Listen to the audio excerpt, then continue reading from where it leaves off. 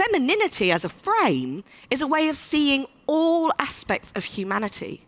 These women that I was writing about in the Goddess book, they were involved in warfare, but they showed every characteristic. They were jealous, they were vengeful, they were loving, they were wise. They were all these characteristics, not just one thing.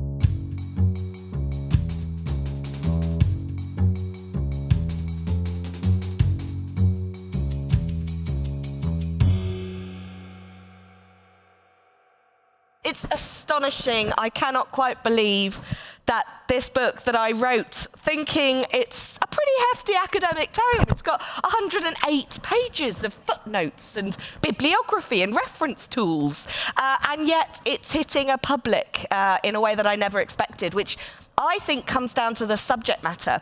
And it's a subject matter that we'll be discussing more throughout this evening that I think really should have been done a long time ago. I shouldn't have to write a book putting women back into history in 2022, 2023. It is so long overdue, it's almost frustrating. While I was writing Femina, I was writing this book, Goddess, and I want to bring in a little bit about that because it was all being written during the pandemic. And I began both these projects simultaneously with preconceptions about what I was going to write. And in the process of writing these books, my own preconceptions changed. I was changed in the process of writing these books. Um, why do we need to be having this conversation? Surely women have equality now, don't we? It's over, it's a done deal. No. There are more CEOs named John than there are women CEOs altogether. Any Johns in the room? if, if so, well done, Johns. You're doing well in the world.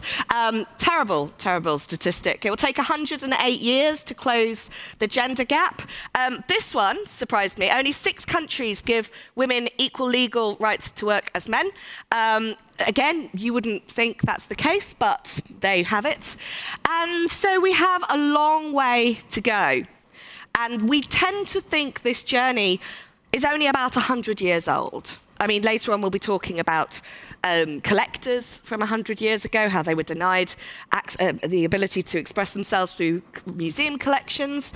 Um, the person I begin Femina with, Emily Wilding, Wild Davison, the suffragette, she became the first martyr to the cause, and that was just over 100 years ago. But what I found so fascinating when I was thinking about this was that Emily Wilding Davison was a medievalist, like me. And she did not see what the suffragettes were doing at the turn of the century as breaking new ground, forging forward into a vacuum. What she was trying to do was regain rights that she felt women had in the medieval period that had been recently taken away from them. And that flipped everything around in my mind. I suddenly thought, right, so maybe I need to be looking differently at the period I study. Now, I'm taking about 25,000 years. Thought I'd start right at the beginning. Women have always been roughly 50% of the population. And finding them can be easier or harder depending on where you are and what time you're looking for them. Interestingly, back in the Neolithic, the prehistoric, there are multiple representations of women. These were until recently known as Venus figurines. Now that's nonsense, of course, because the Roman goddess Venus isn't even conceived of for another 20 odd thousand years. So instead, more accurate to refer to them simply as female figurines. This is the female figurine of Willendorf, and this is from Hohlefels in Germany. And I love these figures because they are clearly celebrating the female body and aspects of it that do loom large when we think about the binary difference between male and female, masculinity and femininity. In this case, reproduction. So the Hohlefels image here you can see this is a body, those marks are all contemporary. These are stretch marks that have been carved into the female body. And this is a, probably a body that has birthed children. What I love most about it, though, is can you see there's no head? Instead, there's a little hook. And what this meant was when you wore it round your neck, your head became the head of the goddess. You were the goddess, which I think shows such creativity right from the very beginning of human artistic expression. And my journey to try and discover where, why we end up where we do in the Middle Ages and then in the modern age take, took me then 8,000 years back, 6,000 years BC, to Çatalhöyük, the world's oldest city in Turkey. Amazing place. This is what remains of it today. It's, it's vanishing before our eyes because the, the stone, the, the bricks were made out of sand, and as they've been exposed, it's simply blowing away. Uh, but what the archaeologists discovered there in the 70s and the 80s was pretty much like a modern city today. Lots of standard sized, similar sized houses, all pressed up against each other. And they too have a form of goddess worship, it seems. This one, she is so formidable. And what I haven't shown you is the back of the statue, where she has a magnificent bottom that sort of drapes over the back of her throne. And she has subdued two panthers beneath her arms. She is, is, is above nature. She's ruling over nature. What is most fascinating about Çatalhöyük is when they did skeletal, examine, examine the skeletal remains that were found within the city. In almost every modern cemetery, every medieval cemetery, every classical cemetery, you can tell the difference between male and female bones from a range of evidence. For example, men often eat better than women. They often have different health issues, and largely their male uh, skeletons are bigger than the female skeletons. Well, at Çatalhöyük, they were not. They were very similar. They were eating the same things, they were doing the same jobs, the same labor. Dare I say it, but 8,000 years ago, did we have more equality than we have today? Then there are other examples of societies that actually work as a matriarchy. In Knossos, in Crete, the Minoan civilization, which predates the Greeks, their entire uh, palatial structure around Knossos was focused on the women. The women were the ones who made the decisions. They were in charge of the political sphere, the economic sphere, and the religious sphere. And here you have, again, two different representations of women. In this case, these are called snake goddesses, with the serpents winding around the arm on one, and in the other, she has two serpents in her hand, and again, a cat on her on her hat to show that she is on, in charge of nature. So all these ancient civilizations were giving me uh, inspiration to think about the relationship between the biological sexes, but also to start to challenge what we mean by gendered uh, behaviors, things that are allocated in the male sphere and things that are allocated in the female sphere. I also wrote this book, Goddess, where I looked at different female figures of belief from across the world. And the thing is, I went into that project thinking, I know what a goddess is. It's Venus. It's a sort of naked lady, eternally beautiful, subdued, quiet. My goodness, how wrong I was. When I started to look at African orishas and I started to look at Aztec goddesses that are sort of made out of obsidian, and Rangda, the Balinese demon goddess whose head rips off and zooms around like a zombie at night, I realized that what was actually happening across the world, across time, across belief, across cultures, was something far less binary. And femininity as a frame is a way of seeing all aspects of humanity. These women that I was writing about in the Goddess book, they were involved in warfare, but they showed every characteristic. They were jealous, they were vengeful, they were loving, they were wise. They were all these characteristics, not just one thing. And that's what I wanted to bring over into my examination of women in the Middle Ages. So, I did a lot of research for this book and for the other book. Luckily, there wasn't much on in sort of 21, 22, so I had a bit of free time to, to write. Um, and I realised that a lot of work has been done in the academic sphere on medieval women beautiful, brilliant books like Henrietta Leyser's Social History of Medieval Women, uh, Eileen Power's study on medieval women. But in every case, when I was looking at these works, I'd cast my eye down the contents page, and each chapter was entitled something like Daughter, Mother, Wife, Sister. In every respect, these women were being explained in relation to the male counterparts in their lives. And I really didn't want to do that. so I chose titles for my chapters that I think the first person you'd probably call to mind if I told you to imagine one of these people in the medieval period would be male.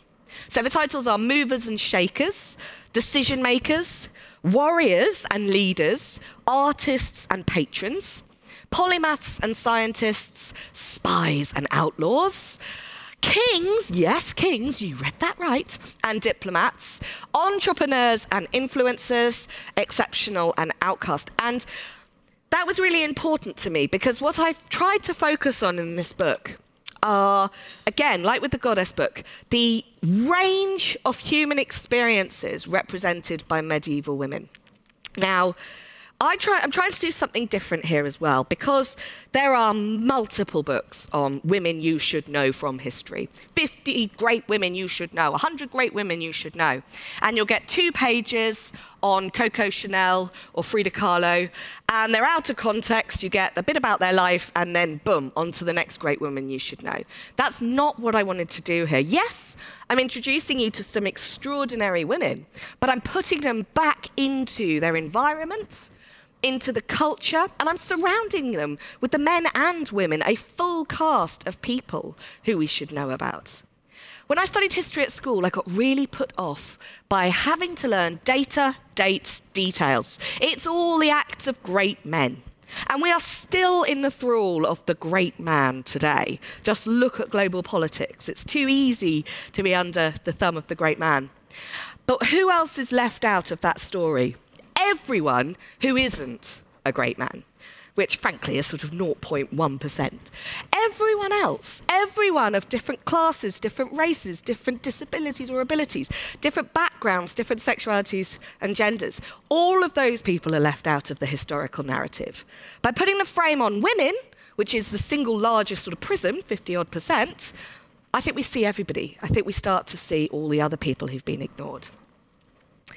And it, having said that, by trying not to just do um, exclusion, exclusionary history, pick on one person and tell their story, I'm now going to pick on one person and tell their story because I want to introduce you to one of the superstars of the book, Hildegard of Bingen. This you might recognize. Yes, it is the cover. And Jenny and I will be discussing the cover a bit more later. But in this case, this is probably drawn by Hildegard herself, and she declares it to be a representation of the cosmic egg. If anyone else is thinking it's, it's something else, you're not wrong. Okay, and I'll come up to that in a moment.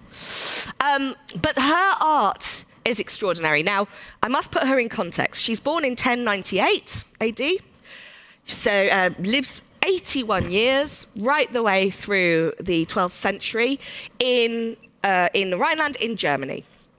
And I think she might be one of the most extraordinary people to have ever lived. So we know that she is this polymath, and one of the ways I describe her to people is she's Leonardo da Vinci, hundreds of years before Leonardo da Vinci, and better than Leonardo da Vinci because she finished her projects. Um, she was a true polymath. She begins life in this uh, monastic environment in Disibodenberg. Um, I will talk a little bit about terminology and how these things are important, but the idea that she is a nun may, from our modern perspective, kind of colour how we perceive her. I went to a convent school, and my idea of a nun is a little old lady, very grey haired, tiny, in a habit, walking along in a herb garden with a ginger cat, sort of strolling along, praying, separating themselves off from the world, living a life of, of piety and quiet contemplation. That is pretty much the opposite of what life would have been like at the time that Hildegard is running her multiple convents and double monasteries in Germany. Her environments were the universities, the hospitals, the music halls, the art centres, the, the, technological workshops, craft shops of the Middle Ages. Anything intellectual, anything artistic, anything scientific, it would take place in these monastic environments. And a nun was someone who wielded power. They had a, they'd made a choice, or they'd had a choice made for them by their family to leave behind the domestic sphere of child rearing, possibly dying in childbirth, being married um, you know, at the decision of their family. They remo- they're removed from that into a space where they are allowed to learn, to think, to explore ideas. And of all of those nuns, Hildegard is the one that just seems to really stand out. Her visions began when she was a child, um, but she really, it seems, was suffering from migraines. And it was the migraines that was allowing her this sort of visionary experience. And I think you can see that in these images, can't you? They ra they're radial, which is quite unusual for medieval illumination. So they radiate outwards. There's this scotoma, the, the sort of metallic aspect. She instructed the uh, illuminators of these manuscripts to use gold and silver foil, which is unusual, because she wanted to get that kind of clash you get. So her descriptions of her, of her visions are like that. But she uses these as a means of exploring the very meaning of life, existence, the universe. She writes theological texts. She writes scientific treatises, natural histories, where she discusses stones and flora and fauna. She's still known as the um, mother of uh, the natural sciences in Germany. She wrote music, and if you do one thing after this lecture tonight, go home and look up on YouTube Hildegard of Bingen music. It is sublime. She, uh, she makes the vocal, uh, she's written it for female voices. It's unlike anything else from the medieval period. And in one phrase, she'll jump two octaves. It's ethereal, it's otherworldly. So she's a musician, she's a linguist, she developed her own language. Um, an artist, you know, she's responsible for these things. So a true polymath and truly extraordinary at everything she turned her hand to. But what I think she was trying to do was understand the essence of life. When language isn't enough, can you invent a new language? When you can't express in words something that's so profound, can you use art or music? Can we explore it by understanding its science, its, its makeup? Or do we need to think about it from a spiritual, philosophical point of view? She was casting all these lenses on life. And I can't think of a person alive today that was as capable as her. Luckily, she lived to 81, so she had a long time to enjoy it all. Um, this is her receiving her visions. But as I mentioned at the top, this is not about, woohoo, this is the celebrated human being we should all know about. It's about putting her in her environment and her context, and understanding her in relation to the people around her. And here you can see her confidant, editor, if you like, Richardis, who never left her side. Uh, there's some discussion that she may have been Hildegard's lover. Certainly, when she leaves the monastery, Hildegard just breaks down in passionate expressions of, of grief and loss and, and anger that she has been you know, left by this woman. Um, but in terms of her publishing career, she's always beside Hildegard, giving her advice, doing her research notes, helping her out. And this is the scribe Volmar, who was actually writing these things down and distributing them.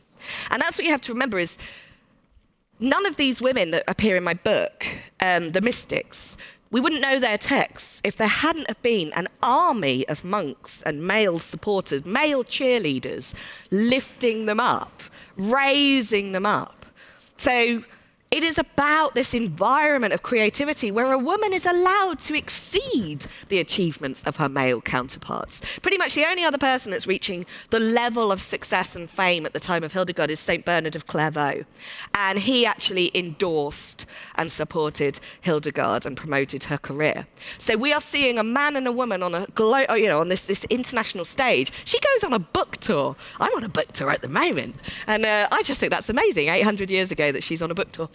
Um, this is how she describes her visions. It's like a trembling flame or a cloud stirred by the clear air.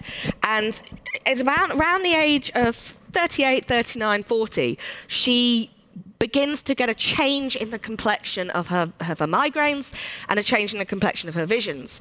Um, there is an argument it could have been menopause, early onset menopause, and the change in the hormone balance led to a, a, transfer, a sort of change in the nature of the migraines. But whatever happened, at this age, having spent 30, 40 years quietly reading, learning, working in the hospital, looking at the natural world, listening to the monks in the, in the, uh, in the church, in the abbey, and, and just surrounding herself with knowledge, she then feels the need to share it. And she goes out and she says, you, I'm compelled by great pressure of pains to make known what I've seen and heard. Now, she is also known as the Sibyl of the Rhine because she had the ear of the most powerful individuals of the 12th century. All the kings, major kings and queens of Europe, she wrote to them, gave them advice. Emperor Barbarossa turned to her repeatedly, the Holy Roman Emperor, for guidance and instruction. And the Pope, uh, endorsed her work as well. So when we think in these works, I'm going to tell you in a minute, you, there, there's some controversial stuff in here, but these, this powerhouse of male religious people are also you know, in, endorsing what she's doing. And she really can chastise them. This is her writing to the Pope. Um, you, you evil deceivers who labor to subvert the Catholic faith, you are wavering and soft, and thus cannot avoid the poisonous arrows of human corruption. Woo, heavy. I mean, she's laying in, and she's not going to be you know, punished. She's being supported. Amazing. She was also living through a very controversial time and she was not afraid to share her thoughts on it. At this point, going into the, uh, out of the 12th into the 13th century, there was um, a, really a rise in anti Semitism and outright attacks on Jewish communities. And Hildegard does not want a part in this. She deliberately emphasizes the role of both Judaism and the church in terms of biblical scholarship. And at a time where this is not popular to be expressing these opinions, times of crusades, times of, of international conflict, she is, is happy to stand her corner and stand up for what she believes in.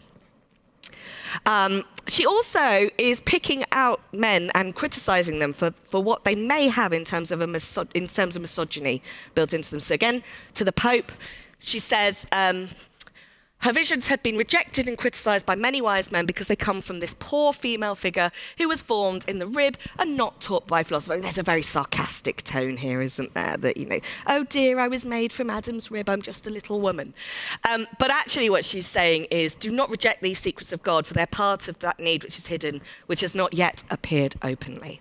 And we'll talk about this in the discussion. But this idea of not yet appeared openly, hidden in plain sight, there but unseen. That really does seem to underline the role of women in the past. Um, and in terms of controversial opinions, she gives a very clear set of instructions for how to bring about an abortion. So, this is what you need to do. And she also gives the first ever description of a female orgasm. And it is heady stuff. So, please do enjoy while I chat. Um, I won't read it out because it's far too arousing. But in terms of uh, this idea of a nun who is supposed to be virginal, who is supposed to be uh, really not interested in matters of sex, that front cover, yes, I think you can see what it implies. And these, this content, this, in, in, this, this information that even today might be considered controversial within the church was supported by it. And I think this makes us see the medieval world differently. And I think it makes us see this whole question of the role of the church in suppressing women's rights differently.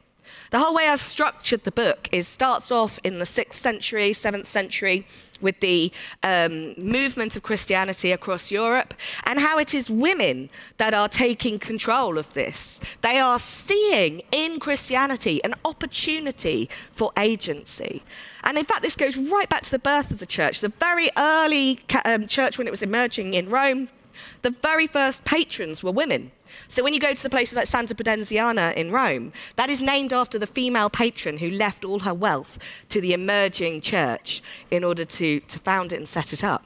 They could see the difference because in the classical world, in patriarchal societies, most religions are arranged where there are a privileged few who are allowed access into a temple, the priest or the priestess, and everyone else is kept outside. Or it could be the emperor and the empress that are allowed in, or the pharaoh. But there's a sense of them and us. What Christianity did, which I think was one of its USPs, really, what made it so popular, was uh, not only do you get a free eternal life thrown in for everybody, and heaven, but also it, the body of the faithful, the church, is made up of everybody. And when you are an excluded group, that is an appealing idea. On top of that, add the opportunity for women to set up their own powerhouses, these convents, these spaces where they can own the land, they can manage all the trade and the industry and the money and the economics that's coming in and out of it, hand it on to their daughters so they can do the same thing. You can see why it could have been appealing right from the beginning. So, what we think of as one of the most patriarchal institutions probably in the world today, the Catholic Church, was actually a vehicle for some of these women to, to find them the, a space for themselves. And this was certainly the case in what we call the 12th century Renaissance in Germany.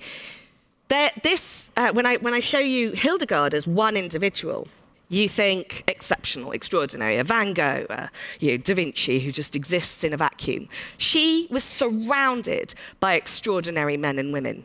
And in convents all around Bingen, there are other women that we only have fragments of information surviving about. Um, there's, this is uh, Herrad of Landsberg. She wrote, and all her nuns, look at them, each of them drawn, each one individual, each one celebrated. Um, they were writing an, an encyclopedia, an illustrated encyclopedia and history of the world. It has been lost. That book has been lost. But it, if it had survived, she would have been up there with Hildegard. We've been talking about her. And other abbesses and nuns all across this region were exploring the limits of knowledge, pushing themselves intellectually. Um, I think the best way to understand her legacy is to, to read her uh, this isn't actually an obituary, this was written before she died, but it's written by Volmar, her scribe, lamenting in advance how he's going to feel when she dies. A little bit morbid. Who then will give answers to all who seek to understand their condition? Who will provide fresh interpretations of the scriptures? Who then will utter songs never heard before and give voice to that unheard language? Who will deliver new and unheard of sermons on feast days? Who then will give revelations about the spirits of the departed? Who will offer revelations of things past, present, and future? Who will expound the nature of creation in all its diversity? Hildegard, and a woman, a medieval woman. So I wanted to start with her. She actually comes in the center of the book. The book runs, as I say, from about 600 AD up to about 1400 AD. Um, and she's, she's slap bang in the center. But in every chapter, what I'm trying to do is challenge our assumption that women have always been the second sex and that our space has always been a domestic sphere. I was having a fascinating discussion uh, with um, people from the Rijksmuseum earlier about gender, about identity, and I was saying there that in the course of writing this book, I found the origin of the phrase, a woman's place is in the home, was Calvin. And it was Martin Luther and the Protestants who began this domestication of women, the, the domestic sphere becoming the space of women. And it makes sense, really. I hadn't realized it, but if you think right up until the Reformation, Yes, the majority of women are living a very conventional life. They are having children, they're getting married, they're living, uh, running the home, that's their space. But there was this option, this extra of being in a monastic environment, or in the case of some of the later women, actually being lay uh, mystics and lay um, spiritual individuals. But the fact that they were able to go somewhere else and explore their intellectual creativity, explore the limits of their knowledge. When the Reformation closed the monasteries, the monks were all given jobs within the church. They were paid off with a pension or they were moved over somewhere else into the new religious world. Women were told, that's it. We're closing all the convents and you just have to go to the home now. That's it, that's your lot. And since then, the last few hundred years have reinforced stereotypes that are transferable across uh, the world. If you're trying to transplant through colonialism an idea of identity and power, how do you streamline it? Men do this, women do this. And then you can take that identity and transplant it wherever the, the, colonialism reaches. So we are victims of the last few hundred years, but there is hope that there was some other variants of women's positions within society, and there will be again. There's so much more I could tell you about so many individuals, but this book is about putting the power in your hands. The phrase I open it with is you cannot be what you cannot see. And we have been so many of us have been written out of the historical records. We haven't been able to see ourselves. So now we can go and find ourselves. This is just my little contribution. But every one of you now have the skills, the tools, the opportunity with the internet, with archives. Find the stories that are interesting to you and tell others about them. It's the best time to be engaging with the past. It's an exciting time to be engaging with the past. Thank you all so much for listening to me.